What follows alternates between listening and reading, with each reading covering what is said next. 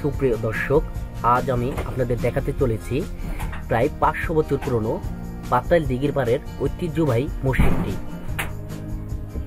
বন্ধুরা, আপনারা এখানে কীভাবে আসবেন তা এই ভিডিওর মাধ্যমে সম্পূর্ণ কিছু তুলে ধরা হবে এবং ব্যাখ্যা সহ এই মসজিদের সমস্ত কিছু তুলে ধরতে চেষ্টা করব। আপনারা যে যেখান থেকেই আসুন না কেন, সর্বপ্রথম আপনারা ভাঙা এই চত্বরে এসে নামবেন এবং এই চত্বরে কীভাবে আসবেন তা আমাদের দেওয়া আছে এবং ভিডিও ডিসক্রিপশনে আমরা এই ভিডিওর লিঙ্ক দিয়ে দেবো কীভাবে ভাঙা আসা যায় এসে নামবেন এবং আপনারা যে সড়কটি দেখতে পাচ্ছেন, এই সড়কটি খুলনা ঢাকা এক্সপ্রেস ওয়ে সড়ক। এবং আপনারা এখন আছি মালিগ্রাম ফ্লাইওভারের উপরে এবং এই মালিগ্রাম ফ্লাইওভার ক্রস করে আমরা চলে যাব পুরিয়া ফ্লাইওভারের কাছেই এবং এই পুরিয়া ফ্লাইওভারের নিচ দিয়েই পাতলা দিঘির ভাড়ে যাব।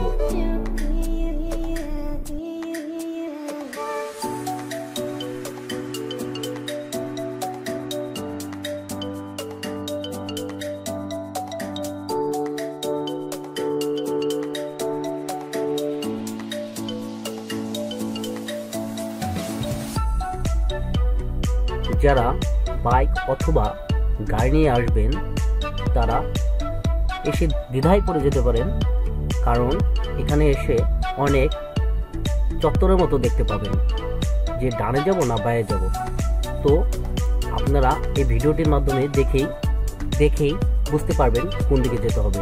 ধৈর্য সহকারে আমাদের ভিডিওটি দেখুন এবং কীভাবে আমরা যাই তা ফলো করুন। এই মসজিদটি বাংলাদেশের ফরিদপুর জেলার ভাঙা উপজেলার আজিমনগর ইউনিয়নে পাত্রাইল গ্রামে অবস্থিত। গ্রামটির নাম আসলে পাত্রাইল। দিঘির কারণে জায়গাটির নাম পাত্রাইল দিঘির পাড়। প্রাচীন ঐতিহ্যবাহী আউলিয়া খান জামে মসজিদ যা তেরোশো হতে চোদ্দশো দশ খ্রিস্টাব্দ মধ্যে গিয়াস উদ্দিন আজম শাহ নির্মাণ করেন বলে ধারণা করা হয়। দর্শক, আমরা ইতিমধ্যেই শিমুল বাজারে চলে আসছি এবং হাতের বায়ে অর্থাৎ পূর্ব দিকে, পাতাল দিঘির পাড়ের রাস্তাটি। পাতাল দিঘির পাড়ের রাস্তাটি। এ ঐতিহাসিক মসজিদের দক্ষিণ পাশে চির নিদ্রায় শায়িত আছেন মহান আউলিয়া মজলিস আউলিয়া খান। মসজিদের আঙিনায় আছে, আউলিয়া খানের মাজারের দক্ষিণ পাশে আছে ফকির সলিম উদ্দিন দেওয়ানের মাজার। হ্যাঁ বন্ধুরা, আমরা চলে আসছি এবং হাতের ডান দিয়ে, অর্থাৎ দক্ষিণ দিকে পাঁচটার দিকে পরে রাস্তাটি চলে গেছে। আর কিছুক্ষণের মধ্যেই আমরা মসজিদের সামনে পৌঁছে যাব।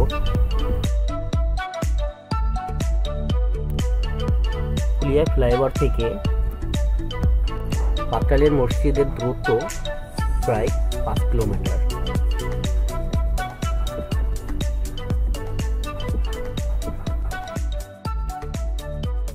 হ্যাঁ দর্শকবৃন্দ, ইতিমধ্যেই চলে আসছি পাতাল দিঘির পাড়ের মসজিদের সামনেই। সামনেই দেখতে পাচ্ছেন মসজিদটি। দেখতে পাচ্ছেন সেই সুবিশাল দিঘিটি, যার নাম অনুসারেই পাতাল দিঘির পাড়ের নামকরণ করা হয়েছে।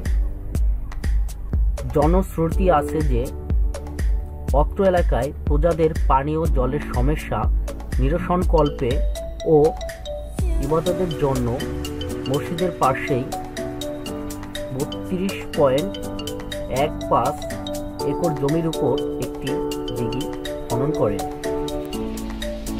এখানে অনেক পর্যটকরা ঘুরতে আসে। বর্তমানে এটি ভাঙা উপজেলাধীন পাত্রাইল দিঘির পাড় আউলিয়া মসজিদ নামে সুপরিচিত।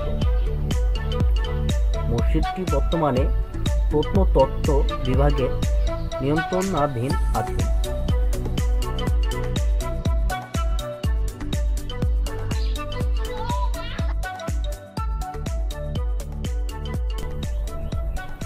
দেখতেই পাচ্ছেন মাদারটি এবং আপনাদের ঘুরিয়ে ঘুরিয়ে সম্পূর্ণ মাদারটি ঘুরিয়ে দেখানোর চেষ্টা করব।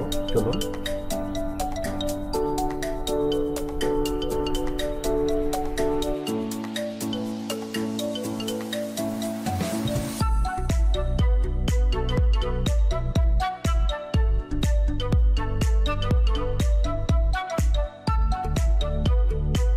দর্শক, আপনারা দেখতে পাচ্ছেন পাত্রাল দিঘির পাড়ের সেই ঐতিহ্যবাহী মসজিদটি এবং এই মসজিদের নির্মাতা মজলিস আবদুল্লাহ খান আউলিয়া এবং এই মসজিদের দৈর্ঘ্য একুশ দশমিক সাত নয় মিটার এবং প্রস্থ একুশ দশমিক সাত নয় মিটার এবং প্রস্থ আট দশমিক ছয় মিটার।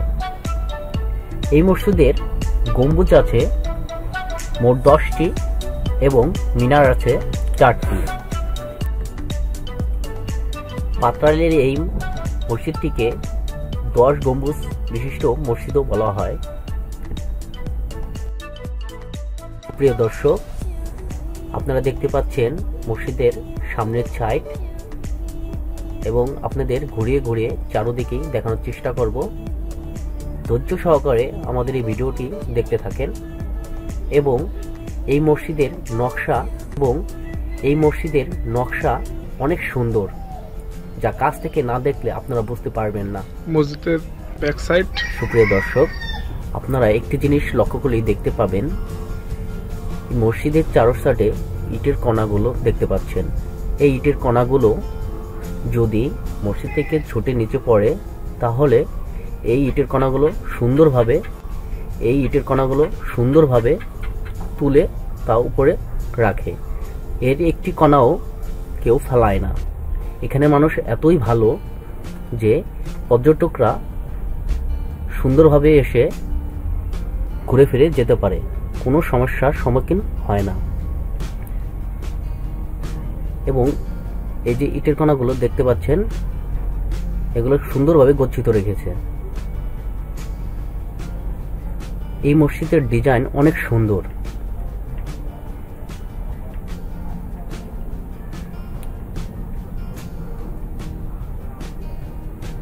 এত পুরনো হওয়া সত্ত্বেও এই মসজিদটি এত পরিষ্কার পরিচ্ছন্ন চোখে না দেখলে তা বিশ্বাস করা যায় না।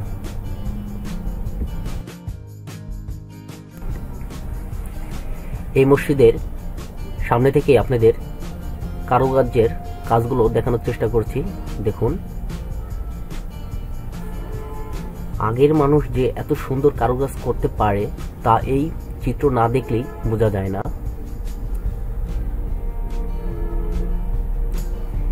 ক্যামেরা হয়তোবা এগুলোকে ভালোভাবে তুলে ধরা যাচ্ছে না। আপনারা সামনে থেকে আরও সুন্দরভাবে এটিকে দেখতে পাবেন। দর্শক, দেখুন কত সুন্দরভাবে নকশা করা হয়েছে।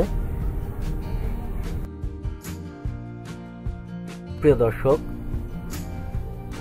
ভিডিওটি দীর্ঘ হওয়ার কারণে মসজিদের ভিতরের সমস্ত চিত্র তুলে ধরানো, ধরাতে পারলাম না। আপনারা যদি চান তাহলে এর পরবর্তী ভিডিওতে আমরা এই মসজিদের ভিতরের চিত্র তুলে ধরার চেষ্টা করব। আপনাদের রেসপন্সের উপরই আমাদের পরবর্তী ভিডিও তৈরি করার অনুগ্রহ জাগাবে।